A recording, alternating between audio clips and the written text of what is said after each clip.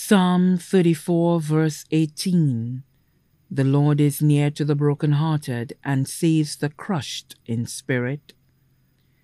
It is with shattered hearts we share the passing of our beloved Michael Joseph, also known as Mr. Mike of New Development Soufriere, whose spirit transitioned on Monday, 7 October 2024, from the Soufriere Hospital. He was 75 years old.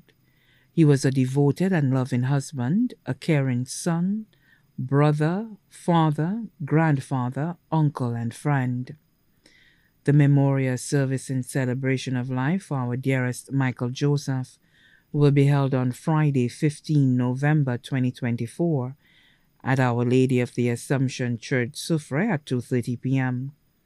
His body will thereafter be interred at the Soufriere Cemetery. His body rests peacefully in waiting at Lazarus Funeral Home, New Dock Road, Vieux Fort. May the angels welcome you into paradise, Mike.